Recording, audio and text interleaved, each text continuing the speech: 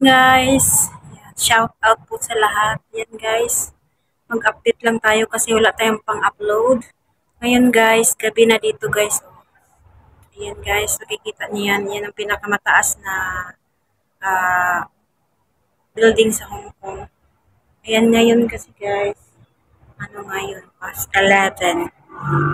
So, ang ganda ng view.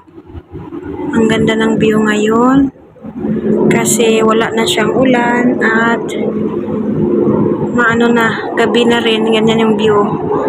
Diba, lagi kong pinakita sa inyo. Yan, yung view. Tsaka yung ano ngayon, may buwan. Yan o, oh, sobrang ganda.